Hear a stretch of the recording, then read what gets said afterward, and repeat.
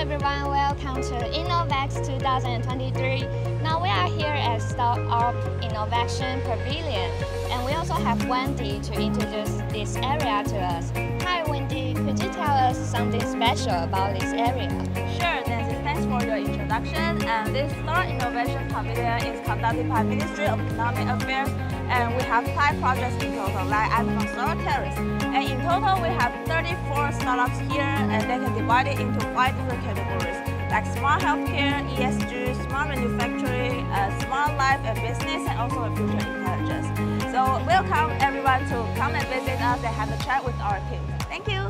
Thank you, Wendy. So let's go find out what's special in this area. Let's go.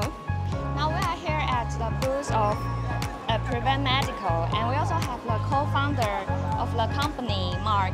Hi, Mark. Hello. What you bring us today? Thank you. So, hi everybody. So, I'm Mark from APrevent. So, APrevent is a medical device company dedicated to providing innovative solutions for voice and speech disorders. Our company will have two solutions. The first one is a laryngeal long-term implant.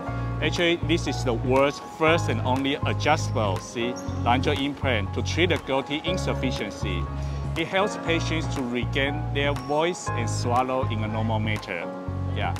And our second solution is we call it the AI Speak. We use the AI machine learning technology to help patients, for example, like for like motor speech disorders, for example, after stroke, Parkinson's disease, cerebral palsy, or ALS. Those patients, they are not able to use their own speeches to communicate with others or express their needs. So now we can use AI technology to recognize their speeches and convert it to understandable speeches in real time. So in that way, they can much easier to regain their capability to communicate with others using their own speeches. So I think the product also helps the patient and also helps the, the patient's family, like the takers of them. Yeah, yeah, exactly. So that's a much easier way for people, like family members or healthcare people to understand understand what their, their needs. So that's easier to take care of them. And also because now the technology can recognize their speeches. So for our applications, we can connect to the IoT services so they can develop their like smart home environment or smart hospitals to benefit those patients' lives. Thank you, Mark. Yeah, thank, thank you for you. your introduction. Yeah, thank you very much. Have a nice day. Yeah, thank you. Thank you. Hello everyone, let's welcome the CEO of First Mover Technology, Jay.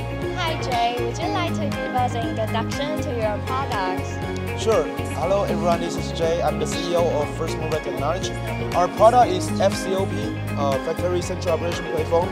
It's a cloud-based SaaS tool for small factory to perform digital transformation. So most of the company right now they do the ESG analysis or the compliance check with the unit of entire building or entire enterprise. We will, they will calculate the energy consumption or the carbon emission by the unit of this building and this entire company. Well, what we suggest is to we have to deep dive into each production line or each product, so we can have better visibility and traceability of each product, and you can provide better, um, better analysis and better management for your companies. Thank you, thank you, Jay. Thank you for your introduction. Thank you, thank you.